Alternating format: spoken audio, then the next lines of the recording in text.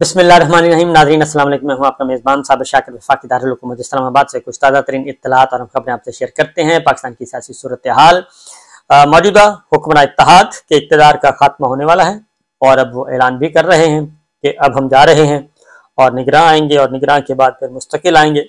मुस्तकिल आने के लिए भी वो खुद ही तैयारियाँ कर रहे हैं कि वापस हमने ही आना है। वो दरून खाना भी बता रहे हैं एलानियाँ भी बता रहे हैं और आपस में ताने बाने बुने जा रहे हैं। इस पे ज़रा कुछ चीज़ें हैं, बड़ी दिलचस्प खबरें हैं, वो आपसे शेयर करूँगा, ज़रूर सुनिएगा, क्योंकि एक नवाज़ शरीफ साहब उम्मीदवार हैं। वो कहाँ हैं? वो कहाँ पे अपने लिए वजारत उज़मा किन से मांग रहे हैं कि मुझे वज़ी अजम बना दें? वो कहाँ पे किस दर पे मौजूद हैं? उसके बाद बिलावल भुट्टो हैं। वो कहाँ पाए जाते हैं? और वो वजारत उस वजारत उज़मा हासिल करने के लिए वज़ी अजम बनने के लिए वो कहाँ पर हाजिरियाँ दे रहे हैं? और उसके बाद शहबाज शरीफ साहब हैं। फिर बिलावल भुट्टो के साथ सरतारी साहब हैं फिर जनाब इमरान खान साहब हैं फिर शहबाज शरीफ साहब हैं। तो शहबाज शरीफ साहब किस तरह पर हाजिरी दे रहे हैं? बड़े ही दिलचस्प सूरत हाल है। उससे पहले आ, कुछ और चीज़ें आपसे शेयर करूँगा। उसकी वजह यह है कि हम आर्मी चीफ आसम मुनीर साहब से भी पूछेंगे कि जनाब आखिर क्या माजरा है? कि आप उन लोगों को वजारत उज़मा और इकतदार देना चाहते हैं जो आपसे मांग नहीं रहे और जो आपसे रबता करना चाह रहे हैं, जो आपके साथ मिल बैठ के बात करना चाह रहे हैं और मुल्क को मसाइल से निकालना चाह रहे हैं, आप उनके साथ बात करने के लिए भी तैयार नहीं। बैठना तो दूर की बात है, उनसे आप बात ही नहीं, आप उनका नाम ही नहीं सुनना चाहते। आप उनके नाम पे पाबंदी लगवा रहे हैं। ये सारी डिस्कशन आपसे करते हैं, लेकिन उससे पहले एक खबर है और वो है सुप्रीम कोर्ट ऑफ़ पाकिस्तान से। क्योंकि जस्टिस काजी फाइजा साहब बहुत अरसे से अखबार की मीडिया की जिनत है। और वो बहुत ही दबंग किस्म के जज तस्वर किए जाते हैं। और लेकिन वो बेंच में बैठ, काम नहीं करते वो। और काफ़ी अरसे से वो बेंच में नहीं बैठ रहे, यानी कि अदालती वर्क नहीं काम कर रहे। उनके खिलाफ जब से रेफरेंस आया और उसको रेफरेंस में कामयाब नहीं हो सका, सुप्रीम कोर्ट ने उनके हक में फैसला दिया। तब से वो उखड़े उखड़े भी नज़र आते हैं और ख़त किताबत करते रहते हैं, अपने अंदर ही कभी रजिस्ट्रार साहब से, कभी चीफ जस्टिस साहब से, कभी ऑनरेबल जजेस से, और उसके बाद कभी कभी मीडिया में भी नज़र आते हैं, बल्कि अक्सर नज़र आते हैं। तो सूरत हाल क्या है इस वक्त? क्योंकि कारकर्दगी रिपोर्ट जारी की है, क्योंकि बहुत ज़्यादा तनकीद करते हैं वो चीफ जस्टिस उमरता बंदयाल साहब, उससे पहले भी लीडरशिप पे बहुत ज़्यादा तनकीद करते हैं, और बहुत ज़्यादा, और उन पे एक साल के, एक साल की कारकर्दगी रिपोर्ट सुप्रीम कोर्ट ने जारी की है। कि किस जज साहब ने कितने मुकदमात निपटाए। और वो बड़ी दिलचस्प है। और वो एक साल की रिपोर्ट है। ये रिपोर्ट है दो फरवरी 2022 से यकम फरवरी 2023 का तक का डाटा है। एक साल में मजमू तौर पर बाईस हज़ार आठ सौ तैंतालीस मुकदमात निपटाए गए। और गुजशत एक साल में बीस हज़ार सात सौ सात मुकदमात सुप्रीम कोर्ट में रजिस्टर हुए नए मुकदमात और इस तरीके से 2 फरवरी 2022 को जेर अल्तवा मुकदमात की तादाद चौवन हज़ार सात सौ छह थी और यकम फरवरी को बावन हज़ार पाँच सौ नब्बे थी। तो ये एलामिया अब जो मजमू तौर पर जो मुकदमात निपटाए गए, वो मैं आपको बता देता हूँ कि किस बेंच ने कितने मुकदमात निपटाए। ये बड़ी दिलचस्प सूरत हाल है इस वक्त। चीफ जस्टिस उमरता बंदयाल साहब का बेंच नंबर वन बेंच कहलाता है। उस बेंच ने जी 243 दिनों में काम किया। एक साल में 243 वर्किंग डे थे। और आठ हज़ार सात सौ छियानवे मुकदमात निपटाए चीफ जस्टिस उमरता बंदयाल साहब के बेंच ने, जिसकी सरबराही जनाब उमरता बंदयाल साहब कर आठ हज़ार सात सौ छियानवे मुकदमात निपटाए। टू फोर्टी थ्री दिन उन्होंने काम किया, अदालत में बैठ के कोर्ट रूम में। जस्टिस एजाजुल साहब ने दो सौ सैंतालीस दिनों में उमरता बंदयाल साहब टू फोर्टी थ्री डेज़ और जस्टिस एजाजुल साहब ने दो सौ सैंतालीस दिनों में चार हज़ार छः सौ चौसठ मुकदमात निपटाए। उसके बाद सीनियर मोस्ट जज, दूसरे हैं जस्टिस सरदार तारिक मसूद साहब। उन्होंने एक सौ अट्ठावन दिनों में तीन हज़ार एक सौ छब्बीस मुकदमात निपटाए, यानी टॉप थ्री पे। ये रहे आठ हज़ार सात सौ छियानवे, चार हज़ार छः सौ चौंसठ और तीन हज़ार एक सौ छब्बीस। अब जस्टिस काजी फाइज साहब का नंबर आता है। जस्टिस काजी फाइज साहब ने एक सौ अठासी दिन काम किया है जी। एक सौ अठासी दिन। और उन्होंने निपटाए हैं तेरह सौ तेईस मुकदमात सिर्फ़। यानी तीन हज़ार जस्टिस सरदार तारिक साहब ने और चार हज़ार छः सौ चौसठ जस्टिस सिराजुल हसन साहब ने, आठ हज़ार सात सौ छियानवे जस्टिस उमरता बंदयाल साहब ने, लेकिन काजी साहब ने एक एक हज़ार तीन सौ तेईस, तेरह सौ तेईस मुकदमात निपटाए।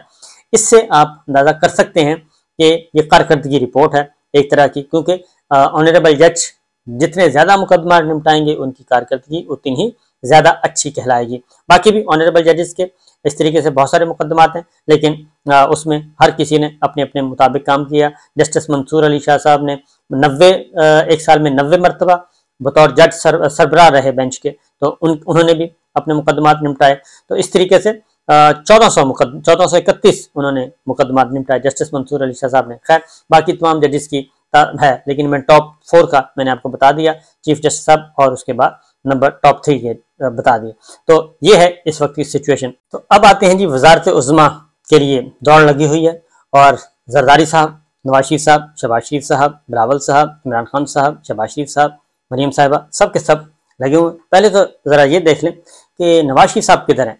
नवाज़ शरीफ साहब पहले यू आए और यू से उन्होंने जरदारी साहब से मुलाकातें की और उसके बाद लगता है कि कुछ गड़बड़ हुई और गड़बड़ होने के बाद जरदारी साहब से उनके मामला सेट ना हो सके।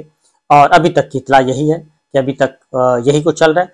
तो वो सऊदी अरब गए हैं और सऊदी अरब का आपको पता है कि हमारे यहाँ काफ़ी असर रसूख है यू का भी, सऊदी अरब का भी दोस्त ममालिक हैं और मुश्किल वक्त में एक दूसरे के साथी भी हैं। लिहाजा सऊदी अरब में गए हैं क्योंकि यू में जरदारी साहब का ज़्यादा असर रसूख है और सऊदी अरब में नवाज़ शरीफ साहब का ज़्यादा है। लिहाजा, वो वहाँ पे हैं मरीम साहबा भी वहाँ पे हैं और वहाँ पे जोड़ तोड़ कर रहे हैं और रास्ता तलाश कर रहे हैं।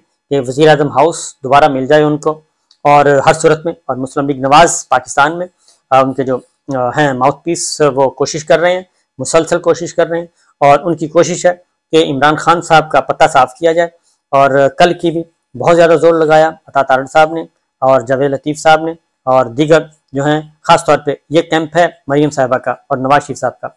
वो इसमें काफ़ी मेहनत करते रहते हैं कि शबाज शरीफ साहब का मैं अलग से बताता हूँ, नवाज़ शरीफ साहब तो वहाँ से वो कोशिश कर रहे हैं कि उनके लिए रास्ते हमार हों। पहले भी वो जब एन आर ओ वन हुआ था मुशरफ साहब का मोहतरमा बेनजीर भुट्टो के दरमियान तो उस वक्त भी नवाज़ शरीफ साहब को सऊदी अरब से रिलीफ मिला था और फिर किंग अब्दुल्ला ने अपने जहाज़ में उनको वापस भेजा था। लिहाजा उन, उसके बाद फिर वो भी एन आर ओ वन का हिस्सा बने और उनको भी पॉलिटिक्स में वापस आने की इजाज़त मिली, वन और दस साल का माहिदा करके गए थे। अब आते हैं यू से। आपको यू ज़रा सॉफ्ट कॉर्नर रखता है जरदारी साहब पीपल्स पार्टी के बारे में। तो बहरहाल, नवाज़ शरीफ साहब उधर हैं और उनको अब वो बाहर से कोशिश कर रहे हैं। दूसरी जानब, बिलावल साहब जो हैं यू का यू से जरदारी साहब पाकिस्तान चले गए, और नवाज़ शरीफ साहब और मरीम साहब सऊदी अरब चले गई क्योंकि ज़रा ज़ोर ज़्यादा लग रहा है और काफ़ी तगोदो के साथ कोशिश की जा रही है। अब हालाँकि, अवाम पाकिस्तान में है इलेक्शन पाकिस्तान में होना है वोट पाकिस्तान में है, लेकिन फैसले बाहर से करवाए जा रहे हैं, नवाज़ शरीफ साहब। उसके बाद आते हैं बिलावल साहब। बिलावल साहब जो हैं, वो फ्रांस गए और फ्रांस से वो अमेरिका चले गए और वो अमेरिका में अपनी तगोदौ कर रहे हैं क्योंकि बाइडन इंतजामिया के साथ, जो बाइडन के साथ पीपल्स पार्टी के अच्छे मरासम हैं और जब वो नायब सदर थे, बाइडन उस वक्त के, उस वक्त के ज़माने से उनके बहुत अच्छे ताल्लुक हैं और बाइडन दो दफ़ा पाकिस्तान भी आ चुके हैं, उनको निशान इम्तियाज़, निशान पाकिस्तान भी नवाजा जा चुका है। गिलानी साहब के ज़माने में आए थे जरदारी साहब सदर थे, गिलानी साहब प्राइम मिनिस्टर थे। तो उस वक्त से लेके ये सिलसिला चल रहा है। तो लिहाजा बिलावल साहब अमरीका में इस दौरान स्विस वज़ीर खारजा पाकिस्तान का विज़िट करते हैं। ये बाबर चीमा साहब का एक तहरीर है और स्विस हुकाम, स्विस वज़ीर खारजा पाकिस्तान का दौरा करते हैं।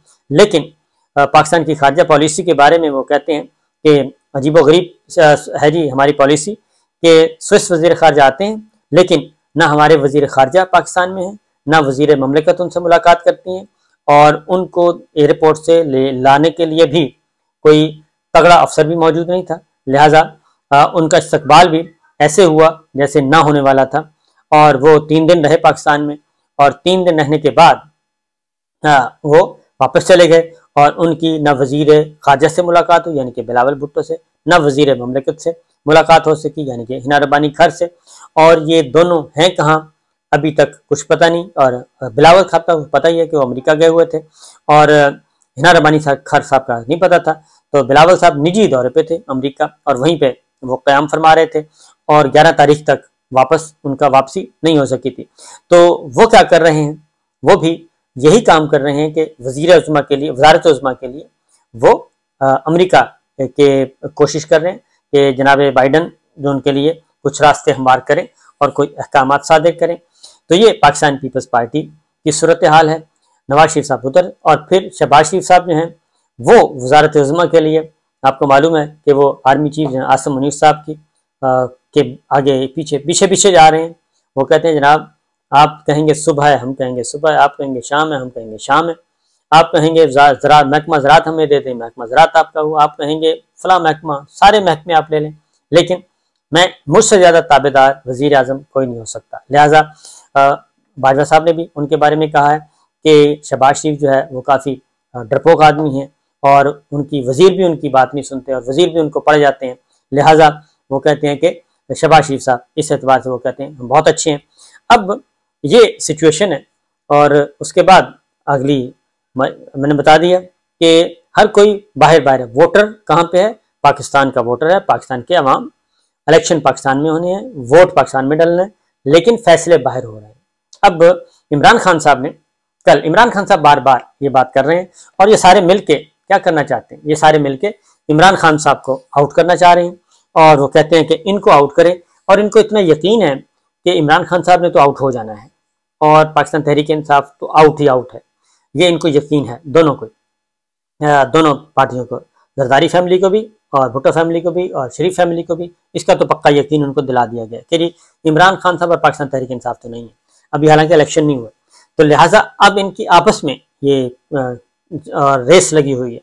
और जरदारी साहब कहते हैं, बिलावल, भुट्टो वजी आज़म होंगे। वो कहते हैं कि नहीं, नवाज़ शरीफ साहब होंगे।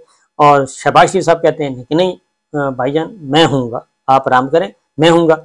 अब ये बंदर बांट हो रही है। इसी तरीके से सूबों के भी बंदर बांट हो रही है कि किस सूबे में किसका इकतदार होगा। ये तो है इस वक्त का हमारा एक मज़ाक और ये पूरा का पूरा मज़ाक जो है वो पूरी दुनिया में फैला हुआ है। और इसीलिए बड़े अफसोसनाक तरीके से इस इस दफ़ा हमें मोदी ने एम्बेरस किया नरेंद्र मोदी ने भारतीय वज़ीर आज़म ने। उन्होंने कहा कि पाकिस्तान को तो छोड़ दें पाकिस्तान तो आ, की बात ही ना करें वो तो अपने वज़न में खुद ही खुदा न खास्ता। तो ये ज़ाहिर उनको कहने का मौका इसलिए मिला। अब इमरान खान साहब जो है, वो ये कहते हैं कि मिलिट्री स्टैब्लिशमेंट को आर्मी चीफ जहाँ से मुनीर साहब से वो कह रहे हैं कि आए, बैठ के बात करें और बात करके मामला को आगे बढ़ाएँ, मुल्क को आगे निकालें। एक मुस्तकम हुकूमत की ज़रूरत है मुल्क को और पाकिस्तान तहरीक इंसाफ के साथ पाकिस्तान के अवाम जुड़े हुए हैं। नंबर वन पार्टी है, इलेक्शन होने दें, हमें आने दें। और स्टेबल गवर्नमेंट आएगी मुस्तकम गवर्नमेंट आएगी वन पार्टी की होगी और कोई ब्लैक मेलिंग नहीं होगी।